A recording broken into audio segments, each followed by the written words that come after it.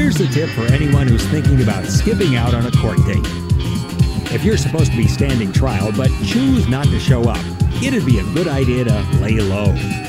It'd be a bad idea to hijack a semi truck full of lumber and lead police on an hour and 40 minute chase through Mobile, Alabama.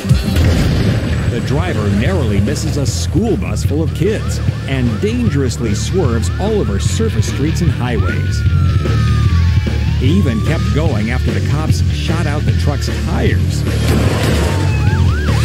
The shots created sparks which ignited the lumber, quickly turning his stolen semi into a rolling fireball.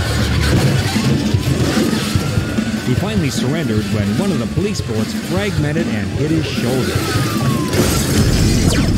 He would soon recover from his injury, but his punishment was not quite as brief.